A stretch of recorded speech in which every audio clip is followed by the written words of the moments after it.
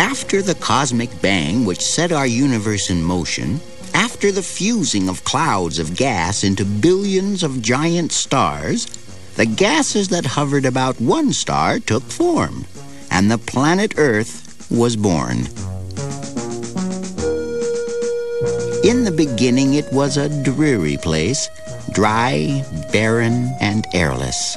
But natural forces were at work, and remarkable changes would occur. A veil of gases rose over the earth, then cooled, condensed, and fell in rain. Millions of years of rain. Oceans formed. A bit of this and a bit of that drifted for millions of years until an extraordinary thing occurred. Molecules began creating more of their own kind. The chain of life had begun. For millions of years, living things fell to the ocean floor. Billions of creatures of shell and bone falling, compressing, evolving to organic mud, and eventually to oil and gas. Then plants appeared on the land. And when they died, they returned to the earth. Hmm?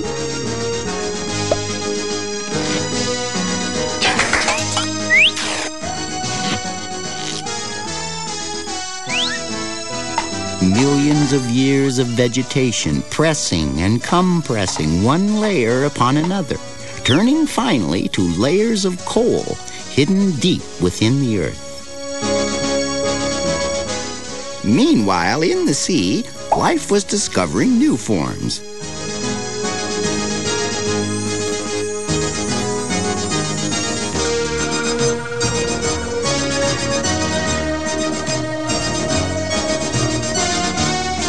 It was a process of trial and error. Hmm?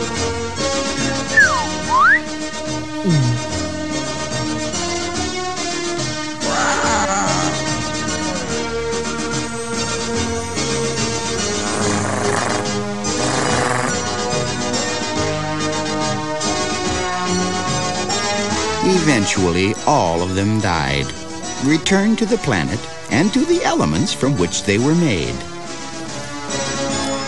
Then came new creatures that carried their young inside their bodies.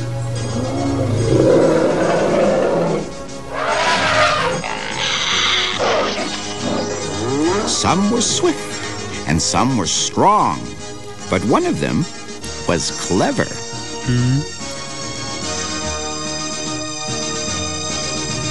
The world he entered was rich now, blessed with the vast resources that evolved from all previous life forms and matter. Oil and gas on the ocean floor, coal deep within the earth, minerals embedded in the rock, and vast forests.